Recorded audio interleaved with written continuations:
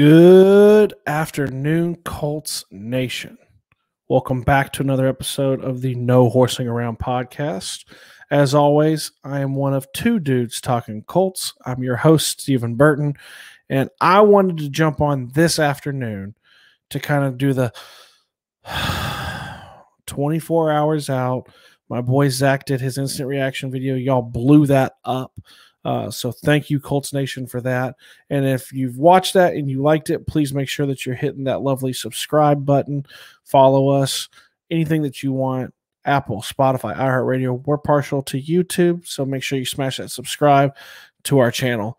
Um, I wanted to take a minute here, a day after, a day later, and kind of jump on here and give you guys kind of the good, the bad, and the ugly from week one's 28 16 loss to the Seattle Seahawks.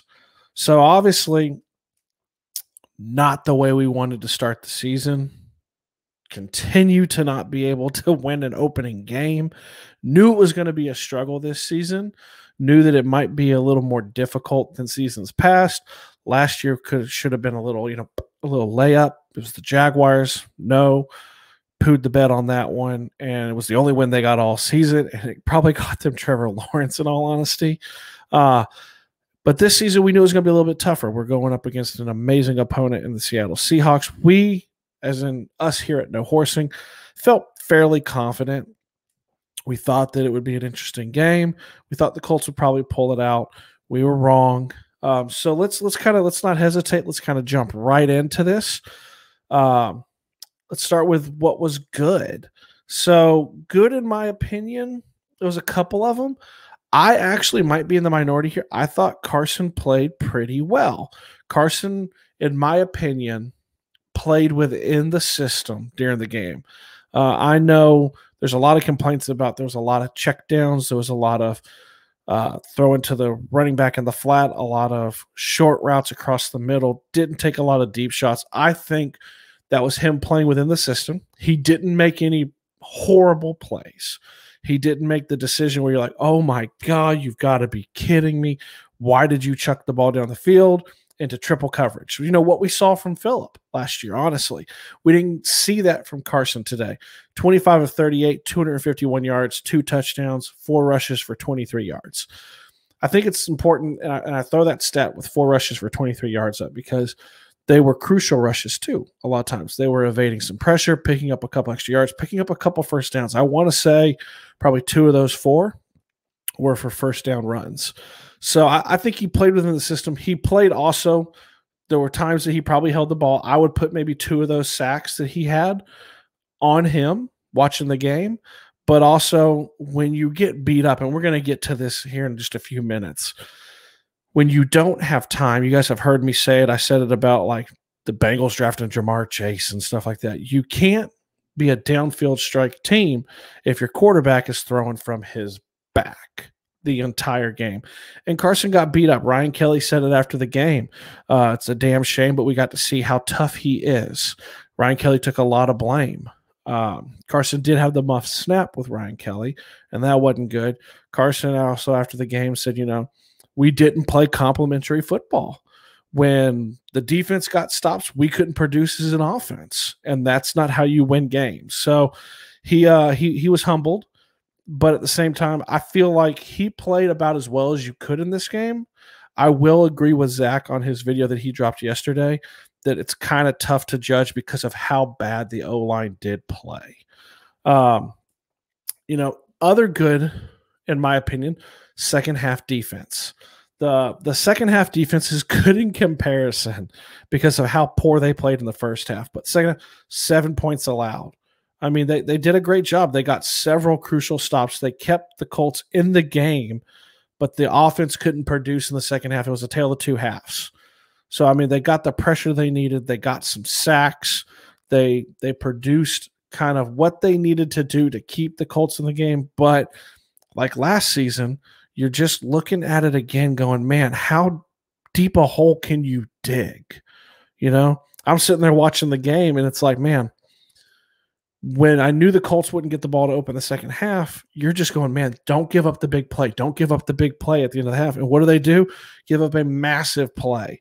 And then you know Seahawks are getting the ball at the beginning of the second half, and it could snowball. So I mean, I liked the resiliency. I think I even put out a tweet in the middle after halftime saying, you know, we were known as a team that could adjust at the half last year. Let's see if they continue to do it. They obviously can. I would love to see them put together a full game, but bear in mind, you guys, too, the good is also it's week one. There are 17 games this year. Okay. There's plenty of time for them to make adjustments. Okay. So that's the good. The bad y'all the first half defense was horrendous. Horrendous. Just tough to watch. They couldn't stop a nosebleed. They were they were horrible. Horrible. Gave up three passing touchdowns 21 points 166 passing yards. And these weren't small dink and dunks. These were chunk plays which is what the colts defense is predicated on stopping. And they couldn't do it I don't know if the Seahawks were giving them looks. I know beforehand when we previewed the game for you guys, the concern was always Russell Wilson. Russell Wilson is a future Hall of Fame quarterback, and he showed every bit of that on Sunday. Showed every bit of that ability on Sunday. He would get out of the pocket, break containment, and make a big play. Yes, the Colts, until the very end of the game, I feel like they held DK Metcalf in check, but they let Tyler Lockett go off they had a hard time with Chris Carson. Uh, he was big, bruising. He wore them down.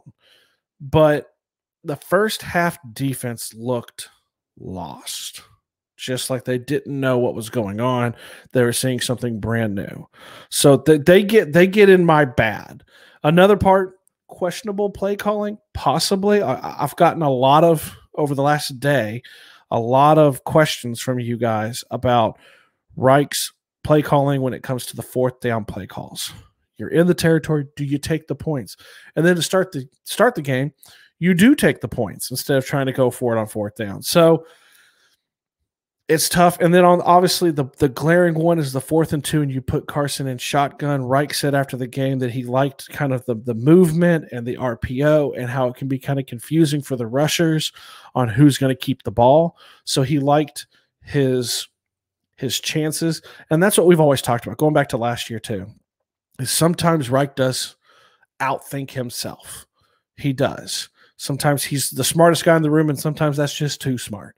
And that may have been one of those situations you wish, because I'm sitting there watching the game going, well, they need 18 points. And there's no way to get that in two drives, and you got six minutes left. It's just a tough ask. Um, so questionable at times. I've always liked Reich's aggressiveness but you you're within every right as a fan to question continuing to go for it on fourth down when you really do need some points. Uh, so let's round it out, you guys, with the ugly, the O line. Holy shit. The O line, four sacks, 15 hits on 41 dropbacks for Carson if they don't get it fixed, Carson will not make it through the season. It's that simple. It was like watching Andrew Luck again in the backfield. And I'm not talking about bombs down the field. I'm talking about car crashes in the backfield. It was it was tough. You felt for him. He was supposed to come. This O line was supposed to be legitimate, and Davenport looked like a turnstile on the outside. They were constantly getting pressure in him. And if you wonder why he wasn't taking shots down the field, that's your reason. When you have two, 2.3 seconds, somewhere around there to get rid of the ball, you don't have time for these late developing routes. You just don't. I mean, he was constantly, I don't have the number in front of me. I was trying to find it before I recorded, but he was just hit too so many times, pressured so many times. And he sometimes he made chicken salad out of chicken shit. There was an occasional time he slipped it and he got a couple yards running, or he had a great pass, or he bulleted it. But it's tough. It's tough when you're constantly being hit. And the O line did not look like what we have come as Colts fans to expect from the O line, which is the preeminent one in the league and frankly a weapon for the Colts to beat people down into submission. So I mean it was not it was not good to watch. It was not easy to watch your franchise quarterback get beat up. And there was just nothing you could do about it because you couldn't run the ball either. The O line in general got no push today, none. So, Fisher, be nice if you can get back a little quicker as long as you're healthy. We we we might need that. Uh, but also, you know, just remember too, as we kind of finish this out, just remember you guys also that it is week one. They didn't have a ton of time together because of injuries and COVID and all these different things that took place in the preseason. So they're still gelling. And we have done pretty well in the past and not opened up, you know, hair on fire week one. Hell, we lost to a team that won one game and the Jaguars last year and went all the way to the playoffs and darn near beat the Buffalo Bills. Other thing to remember too is it could be worse. You could be a Titans fan who got blown out at home by the Cardinals, who were unsure of how good they are. Let's be honest, we are unsure, but also they lost. Jags lost. Chiefs almost lost. Bills did lose. It's week one. Take a deep breath. Come off the ledge.